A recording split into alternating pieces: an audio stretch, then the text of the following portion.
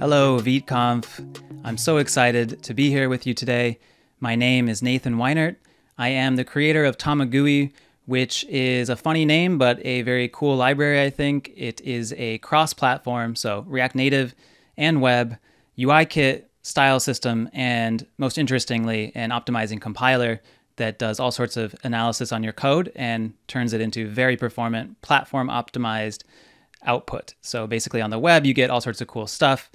Um, and on native, you get hoisted and flattened and extracted styles and, uh, and a render tree that is actually much faster. So I encourage you guys to check it out. It's not really what I'm talking about today. And I'm also very much aware that Vite is born out of the Vue ecosystem. Um, so I just happen to be working on native apps, and React Native is a really great way to share code between platforms.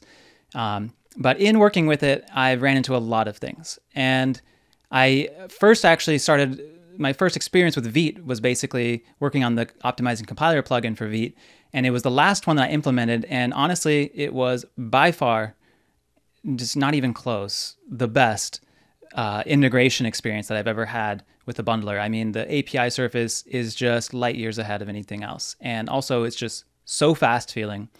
Um, that I definitely just I knew that I wanted to keep working with Vite. We converted a decent amount of our sort of one-off apps over to Vite, but uh, in the end, you know, that was basically what I did, and I hadn't really worked with it much since then. And one big problem, I think, if you're not familiar with kind of the React Native and, and sharing code between platforms, it's, it's a problem that Tamagui is trying to solve by making the styling much, much easier and much more powerful while not sacrificing performance. And I think the theme of the talk that I'm giving here is basically just how do we simplify our stack and make it much faster to work with because we have much less conceptual burden and we also have much less just technical complexity behind the scenes. And I mean, let's not beat around the bush. I basically have been trying to get Vite to serve React Native because the way it works today is you have a different bundler called Metro. And then you actually end up with just some crazy stack. I mean, you have like a monorepo usually where you have Next.js or whatever you want, and then you share code between the two with a separate packages. And now you have so many new problems. You have to figure out multiple locations to put all your files. You have to have some sort of glue library that puts everything together, which I use the awesome library called Solito. Um, but in the end of the day, it's just, it's a lot and it could be a lot better. And so I'm going to play a video for the rest of my talk um, and just kind of have that going on while I continue to monologue to you guys. Um, and uh, it's just going to show Vite serving React Native and kind of have a fun little demo of the hot reloading and, and what it can do. And so uh, I'll talk about sort of how I ended up here, which is basically it's just been a nights and weekends project. Um, and I've, you know, my, my, my stretch goal was honestly just to get it working. And, and, uh, but I, I did get it working uh, about a month ago. And, and then I just went ahead and, and started to see what I could do next. And my next goal was obviously hot reloading because that's the big one. And that took quite a lot of work because the initial bundle has to be built in CommonJS, which is what React Native supports. But then you have to do hot reloading in CommonJS, so that requires some some massaging. And of course, I wanted to have SWC and have it be fast. Um, so again, lots of work there. Um, the other thing is that the React Native ecosystem is just insane. I mean, uh, React Native itself is shipped with Flow as just Flow in a JavaScript file. There's a lot of packages that just ship TypeScript uncompiled, but they wouldn't really tell you that. Um, there are other packages that have CommonJS exports in a you a form that just is very confusing, like circular and like in it doesn't get parsed properly. So it's quite a lot of work. Um, and then and then some packages even import the internals, you know, of React Native, and so that was a whole another thing, um, especially to get hot reloading working with all of that. So it was a lot of work, um, but it is all running very officially. So it's using rollup for the initial build. It serves that bundle, and then it uses Vite for the hot reloading from then on out, uh, all running in Vite as you normally would. Um, so I'm working on open sourcing that. I'm going to have a link at the end that will just, you know, forward to whatever that repo ends up being. I'm extracting it out now from, you know, all the spaghetti code that I had just getting everything working. Um, but I am very happy with where it's ended up. I'm actually able to load quite complex things. I'm able to load Tamagui. I'm able to do all sorts of fun stuff at this point. Um, and and my other stretch goal then, once I got hot reloading working, was to see if I could get Expo router working.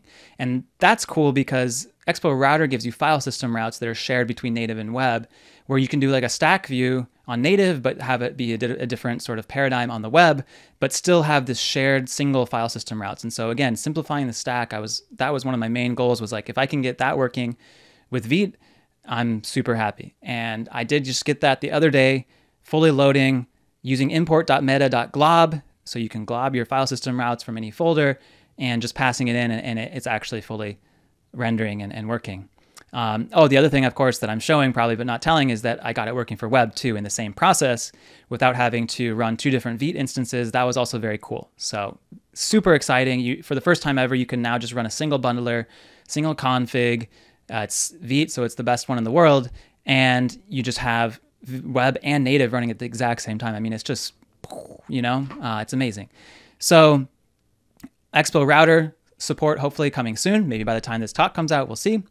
And and then the the final the final point that I just want to throw out there while I have you guys um, is that I just I worry a little bit because the React ecosystem is being sold pretty hard right now on server components. And someone who's like I worked on a lot of native apps, and I, I really like this app-like model where you just have such a simple single way of thinking about your whole tree. You know, like when you write a Swift UI app or something, you don't think about the server, you don't think about that. And, and traditional SSR React apps are really nice in that sense, in that you basically don't really think much about these having these different worlds. Like, you know, I'm trying to get away from that complexity. I'm trying to have a simple single stack. And uh, and server components are getting all this hype, but it it it's a really dangerous path, I think, if you're thinking about doing an app at any point in time, or even if you want app like features, I think you get a much, much better experience by just staying as a SSR, but or just like a fully, you know, client style app. Um, and so I, I really want to just put out there that I think that there is the, the problem that we've had is that there's no great libraries that keep a really great web experience, but then also give you that native like feel of optimistic mutations, local first data that stays cached and works offline, um, you know, that you can just edit and mutate even when you're offline um, and that's instant and it gives you that instant feel, transitions between screens, instant updates that that I don't think you get when you have something like server components, and also that you just have a, again a single way of working with things that I think would be awesome.